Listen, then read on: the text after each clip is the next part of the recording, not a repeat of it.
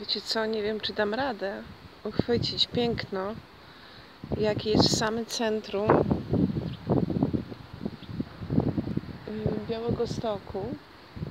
Słuchajcie, ten sad znajduje się przy takim wieżowcu. Chcę pokazać Wam sad. Ja akurat jestem z borowikiem. Jakie są piękne kwiaty.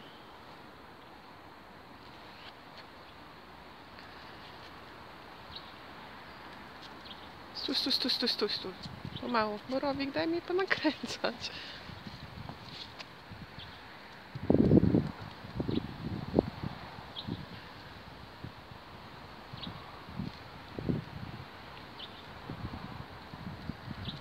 Popatrzcie na te kwiaty.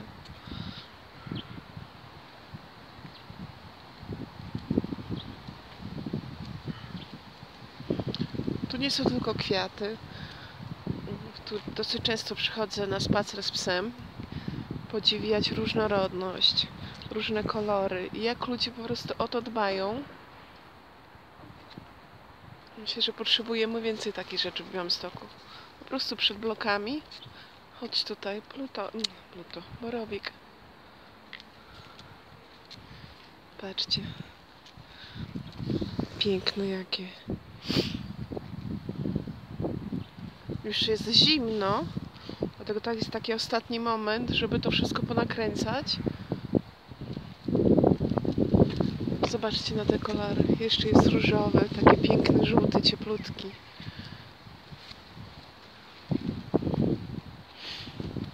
Chodź, Borowik, chodź.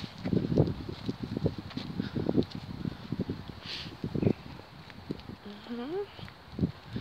Jeszcze na końcówce jestem ciekawa, czy mi starczy, bo komputer mi się zepsuł. Borowik, on mi przekręca. Patrzcie, jakie fajne działki tam z tyłu pod samym blokiem. Nie wiem, czy to będzie tak widać. Na pewno w rzeczywistości jest efekt o wiele lepszy. Dynie, słuchajcie, ktoś tu wyhodował też dynie. O tam jest jedna taka wielka.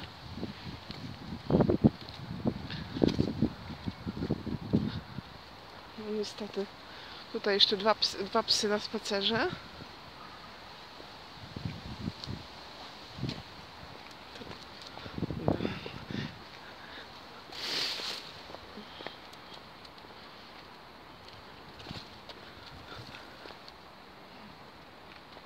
Jaka ogromna dynia, patrzcie. Gdzie to?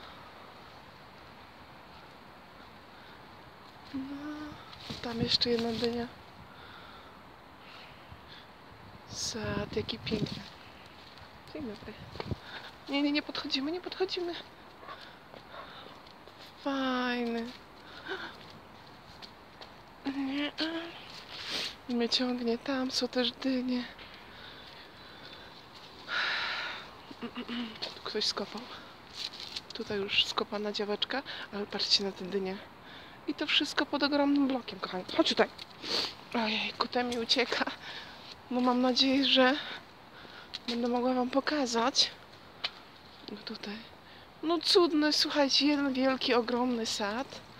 W samym centrum Białego Stoku. Piękny.